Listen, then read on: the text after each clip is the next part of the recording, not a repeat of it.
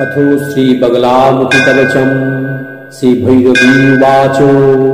श्रुता च बगला पूजा स्तोत्रम् महेश्वर। इदानीम् श्रोतुमिच्छामि कवचम् मे वदः प्रव वैरीनाशोकरम् दिव्यम् सर्वाशुभो विनाशकम्।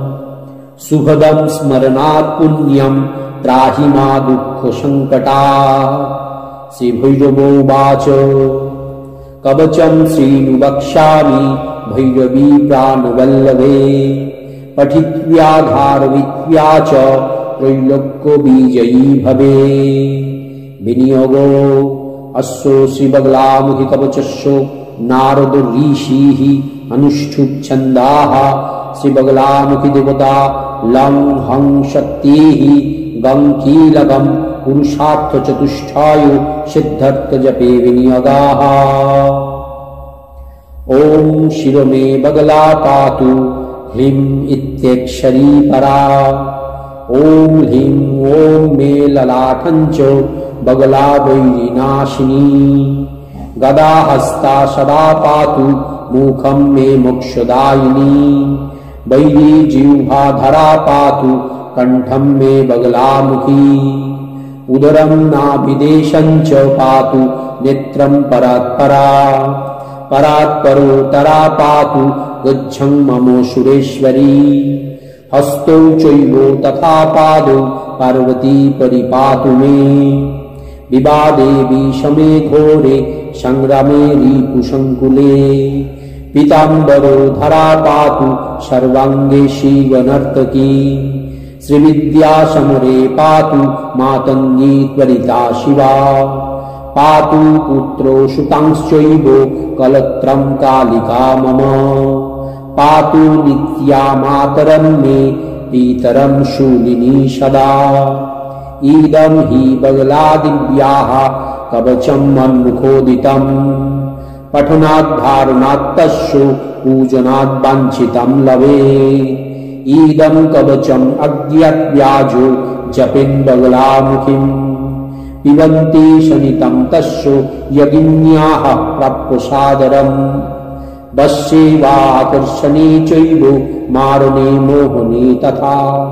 महाभये विपत्तौ च पठिद्वा पाठवेत्यूया तस्य सर्वार्थो सिद्धिः साधभक्तियुक्तस्य पार्वती इति শ্রীরুদ্রয়াবলী শ্রীবগলামুখী কবচম সমাপ্তম প্রিয় দর্শক বন্ধু, এখন আমি আপনাদেরকে জানাব যে এই অতি শক্তিশালী, অতি গুজ্জ কবচ, মন্ত্র পাঠের বা ধারণের ফলাফল কি? আমরা সকলেই জানি যে অষ্টম মহাবিদ্যার দেবী দেবী বগলামুখী। শত্রু বিনাশ, মামলা মোকদ্দমায় জয়লাভ দাম্পত্য সমস্যা, ঋণ মুক্তি, জমি বাড়ি সংক্রান্ত সমস্যার সমাধান, কুণ্ডলিতে মঙ্গল গ্রহের দোষ খণ্ডন, ব্যবসায় প্রতিযোগীদের থেকে এগিয়ে যাওয়ার জন্য, এছাড়াও প্রেমজ জীবনে কাঙ্ক্ষিত ভালোবাসাকে পাওয়ার জন্য ভক্তরা এই দেবী বগলামুখীর কবচ ধারণ করেন। এই কবচ মন্ত্র নিত্য পাঠ করেন। যারা এই কবচ ধারণ করে আছেন তারা এই কবচ মন্ত্র, নিত্য, পাঠে বা শ্রবণে এই কবচের শক্তি কয়েক গুণ বৃদ্ধি পেয়ে যায়। আর যারা এই কবচ এখনও ধারণ করে উঠতে পারেননি, তারাও এই কবচ, মন্ত্র, নিত্য, শ্রবণ করলে পূর্বে বর্ণিত সেই সমস্যাগুলো থেকে মুক্তি লাভ পেতে পারেন। এই কবচ পাঠ করলে ভক্তের জীবনের সমস্ত বাধা দূর হয়ে যায়। শত্রুদের ধ্বংসের পাশাপাশি অশুভ শক্তিরও বিনাশ হয়। এটা বিশ্বাস করা হয় যে মা বগলামুখীর আরাধনা করে।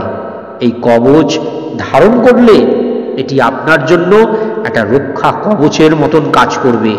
এই শক্তিশালী কবচ মন্ত্র যে কোনো শুক্লপক্ষের মঙ্গলবার দিন স্নান করে হলুদ বস্ত্র পরিধান করে, হলুদ তিলক বা টিপ লাগিয়ে, ধূপ দ্বীপ জ্বালিয়ে উত্তর বা পূর্ব দিকে মুখ করে পাঠ করা শুরু করুন।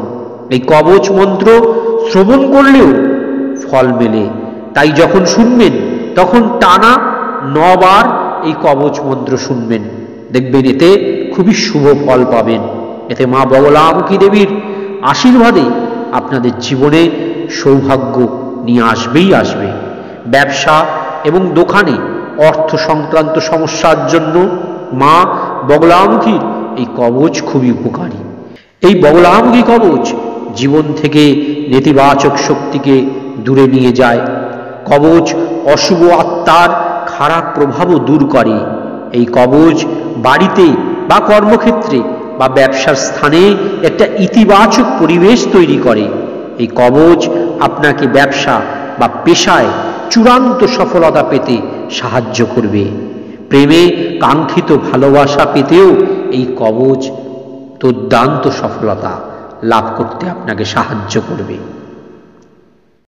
अथो श्रीबगलामुखिकवचम् श्रीभैरवी उवाच श्रुता च बगला पूजा स्तोत्रम् चापि महेश्वर इदानीं श्रोतुमिच्छामि कवचम् मे वदः प्रभ वैरीनाशोकरम् दिव्यम् सर्वाशुभो विनाशकम्। शुभदम् स्मरणात् पुण्यम् त्राहि मा दुःखसङ्कटा। श्रीभैरवोवाच कवचम् श्रीनु वक्ष्यामि भैरवी प्राणवल्लभे। पठित्व्याधारवित्व्या च त्रैलोक्यविजयी भवे विनियोगो अस्य श्रीबगलामुखिकवचस्य नारदऋषिः अनुष्ठुप्छन्दाः श्रीबगलामुखिदेवता लं हं शक्तिः गं कीलकम् पुरुषार्थचतुष्टायु सिद्धर्थजपे विनियगाः। ॐ शिरो मे बगला पातु ह्लीं इत्यक्षरी परा ॐ ह्लीं ॐ मे ललाटञ्च बगला वैरिनाशिनी गदाहस्ता सदा पातु मुखं मे मोक्षदायिनी। वैरी जिह्वाधरा पातु कण्ठं मे बगलामुखी। उदरं नाभिदेशं च पातु नेत्रं परात्परा। परात्परो तरा पातु गच्छं मम सुरेश्वरी।